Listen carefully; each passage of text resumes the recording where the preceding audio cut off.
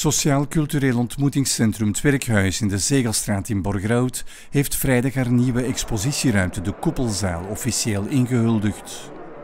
Aan de renovatie ervan is lang gewerkt. Dit was de koepelzaal, dan had het de koepelzaal noemt, maar eigenlijk gewoon een, een soort van uh, vervallen ruimte die niet echt in gebruik was. Die we dan in de loop van een jaar hebben gerenoveerd en dat dit het resultaat is nu. Wat gaat er hier allemaal gebeuren in de toekomst? Uh, voornamelijk expos denk ik, maar ook uh, wel gewoon allerhande projecten en uh, grotere vergaderingen of vormingsdagen.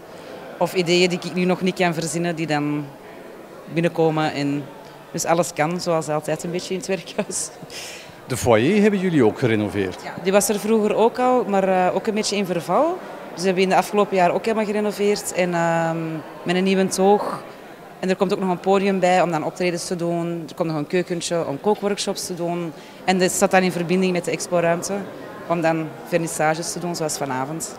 Het ziet er wel heel mooi uit. Klopt, met heel veel werk van uh, onszelf. en uh, heel veel vrijwilligers, voornamelijk. De koepelzaal werd ingehuldigd door schepen Filip Heijlen en districtsvoorzitter Stefanie van Houtven.